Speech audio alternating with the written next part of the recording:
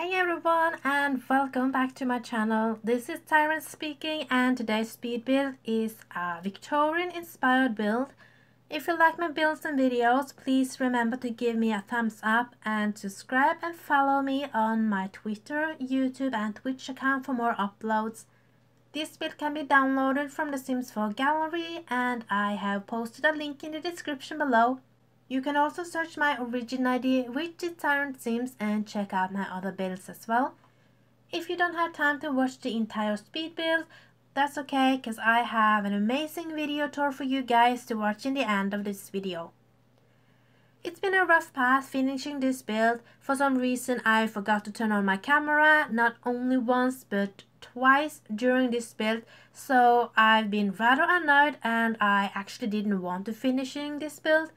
I can be very childish like that, but I usually get over it in the end, so here I am presenting my Victorian house for you all. I can say I have made a Victorian build before. I really enjoyed it though. I know that the exterior is a lot more detailed than what I usually use in my build, so this was a bit of a challenge for me, but I think I managed it quite well for being my first time. You know what they say, practice makes perfect, right? But it is a long way to go. I had some trouble with the roofing here as well. There were a lot of different angles and it was difficult to make the roof look natural and that it actually belonged to the same house. So I spent a lot of time trying out different stuff and I just had to settle with whatever I ended up with here in the end. It didn't turn out to be half bad. I don't think you will notice and like, ugh, I don't like it. And if you are gonna use this in a play, I don't think that you will look too much at the roof anyways. But if you don't like it, you are more than welcome to change it however you like. In this video, I am yet again using a lot of time-lapse and that's because I was spending hours of trying different stuff and I also forgot to turn on the camera so I am jumping a lot back and forth and I don't want to make it too boring by having you guys staring at the same wall for several minutes and nothing's happened because that is very classic me. Currently I am building in Newcrest and I am using the biggest dot there 40 by 50 I think but you can use this house on a 40 by 30 maybe even on a 30 by 20 I think? But then you won't have much of the garden. But the house itself isn't that big but there will be a lot of rooms in there in different shapes and different sizes. And there is also more room on this lot if you want to expand the house as well this house is a very old house. You have probably heard or maybe even seen one of those houses or buildings where you are prohibited to change the appearance because they want to preserve the old house as it is. It was probably built 200 years ago at least and this is that kind of house. And for living in those type of houses I imagine that you are a little old-fashioned and you have to respect and appreciate the old historical culture that we have and even if you want to paint the house, you need to ask some sort of historical council and they are to make sure that you keep it in this right color. And if you have a broken window, for example, you have to change the window so it matches the rest of the windows. And if those doesn't exist, you actually have to have them custom made, which gonna cost a fortune and you have to pay for it all by yourself. So it is a lot of rules living in these types of houses in Norway. It sucks, but I am really fascinated of them. I could definitely live in one of these houses myself.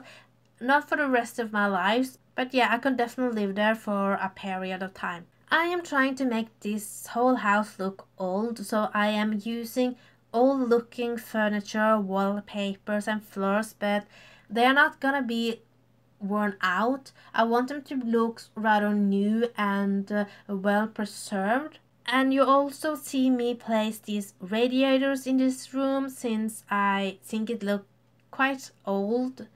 And uh, we used to actually have these on the school I went to when I was a kid. I know it says modern in the item list, but I don't find them very modern. I find them rather old fashioned. And in the kitchen that I am decorating now, I am going to use these old pipes as well. And that is something that I think belong in houses like this because the all the water pipes and the electricity cable are often on the outside of the wall rather inside the wall as we have them today. And I really like these details in these build so it feels more authentic. I was really having fun with this so yeah. And you will also see me place a lot of items on top of the cabinets in the kitchen.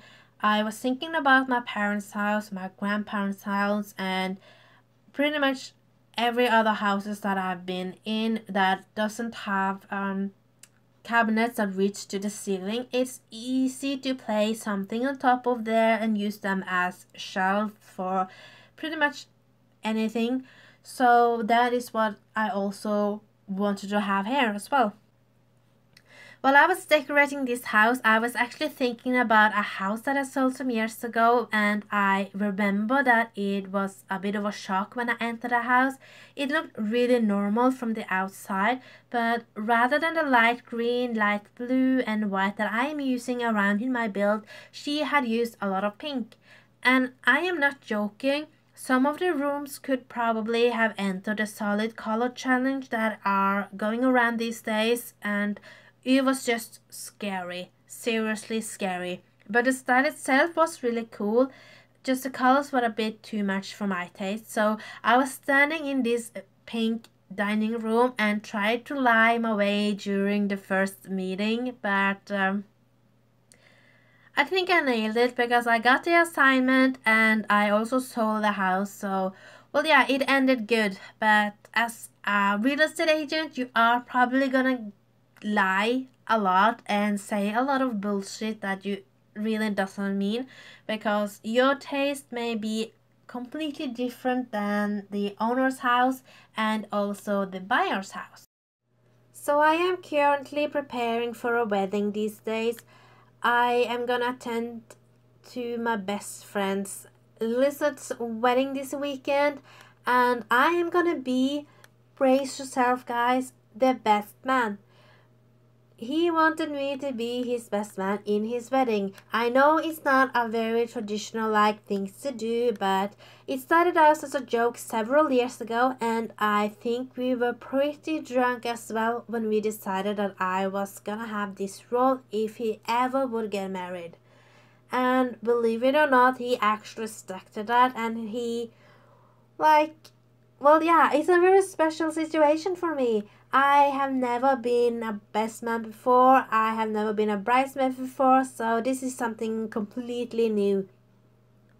So I am preparing a speech and I am also packing since this wedding is up in the north winterland so there is not much time for sims these days but i wanted to get this video out there before i leave because you guys are the best and i was really excited about showing you all my latest creation I don't know if any of you have any experience of being a bridesmaid or the best man, but if you do and have some tips for a speech or maybe a present, it would be great. So they got together after I moved, so I don't really know her, which makes it impossible to give her a present. So I am trying to focus on what he likes and stuff like that. But there is a problem. They live in the most tiniest place ever, so you can't really buy a thing or stuff. Like people usually do like pots or a vase or painting i don't know. And uh, well yeah he doesn't have any place to stash it. So i was thinking maybe of see if i can find something at the at the airport. Is that bad?